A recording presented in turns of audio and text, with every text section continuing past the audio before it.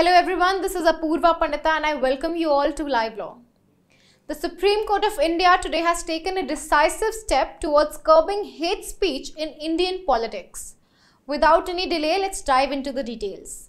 So in a recent development, the Supreme Court of India today issued a notice on a petition filed by CPI leader Brinda Karat. She is a leader of Communist Party of India Marxist the Supreme Court's decision came in response to a complaint against two politicians, namely Anurag Thakur and Parvesh Verma, for making inflammatory speeches during the Delhi Assembly elections in 2020. Brinda Karat had sought the registration of FIR against these BJP leaders, namely Anurag Thakur and Parvesh Verma, for allegedly delivering hate speeches in 2020.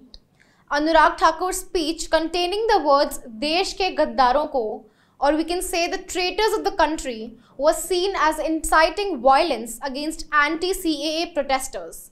Similarly, Parvesh Verma's speech was also accused of spreading hate and violence.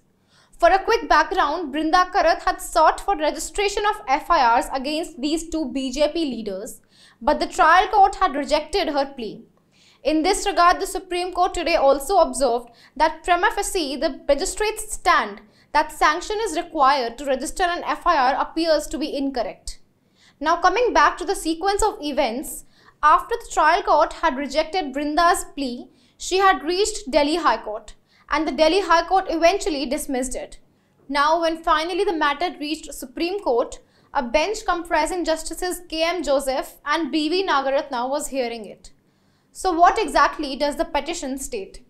The plea alleges that the speech threatened the use of force to remove protesters who were protesting at Shaheen Bagh in the wake of Citizenship Amendment Act that is CAA and to promote hatred and enmity against Muslim persons by portraying them as invaders who will enter houses and rape and kill people.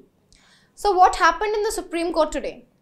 As we all know that section 153A of the Indian Penal Code deals with the offense of promoting disharmony, enmity or feelings of hatred between different groups on the grounds of religion, race, place of birth, residence, language, etc.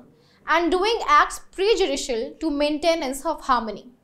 For additional information, we also know that in cases of conviction under section 153A of IPC, that person shall also be disqualified under the Representation of Peoples Act. Now coming back to what happened in the Supreme Court today, well with regard to this section that is section 153A of IPC, the judges asked as to how section 153A which requires two classes was attracted in this particular case. Then the petitioner's advocate argued that the statement was made in the context of CAA and the underlying context was religious segregation. He further argued that even if the statement did not fall under the category of communal statement, it would be a political one. When the court asked whether other offences under Indian Penal Code would be attracted other than section 153A, the petitioner's counsel, that is senior advocate Siddharth Agarwal responded that the offence of abetment under section 107 of IPC would be attracted in such a case. However, the important thing is that the significance of this case lies in the recognition of the danger of hate speech in politics and the need for responsible political discourse. The outcomes of this directive will depend on how effectively it is implemented and how well it is received by politicians and the public. And that brings us to the end of this video. We really hope that you like our content. And if you do, then do not forget to like and subscribe to our channel. And for more legal updates, keep watching Live Law.